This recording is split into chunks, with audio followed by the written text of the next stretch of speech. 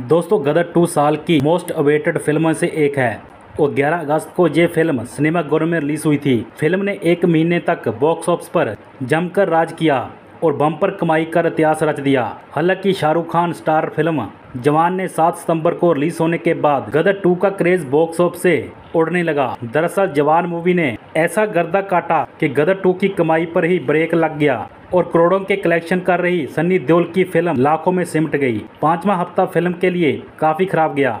और इसके कलेक्शन में हर दिन गिरावट आई। गदर टू ने रिलीज़ के पाँचवें शुक्रवार, यानी कि छत्तीसवें दिन। कितने करोड़ का कलेक्शन किया? गदर टू को सिनेमा घरों में रिलीज़ हुए। पाँच हफ़्ते पूरे हो चुके हैं। ये फ़िल्म साल की दूसरी 500 करोड़ का आंकड़ा पार करने वाली फ़िल्म बन गई है। हालाँकि अब गदर टू का टिकट खिड़की पर खेल खत्म सा होता नज़र आ रहा है। फ़िल्म की कमाई हर दिन घट रही है और ये अब मुश्किल मुट्ठी भर कलेक्शन कर रही है। वहीं अब गदर टू की रिलीज़ के छत्तीसवें दिन की, यानी पाँचवें शुक्रवार की कमाई की शुरुआती आंकड़े आ गए हैं। मीडिया रिपोर्ट के मुताबिक गदर टू ने रिलीज़ के छत्तीसवें दिन ओनली पैंतीस लाख का कलेक्शन किया है। इसके बाद गदर टू का छत्तीसवें दिन का कलेक्शन मिलाकर टोटल कलेक्शन पाँच करोड़ का हो चुका है। दोस्तों, आगे की अपडेट जानने के लिए चैनल को सब्सक्राइब ज़रूर कीजिएगा। अगर आपने अभी तक गदर टू मूवीज़ को फुल वॉच नहीं किया, हमारे टेलीग्राम चैनल को ज्वाइन कर सकते हैं। मिलते हैं नेक्स्ट वीडियो में।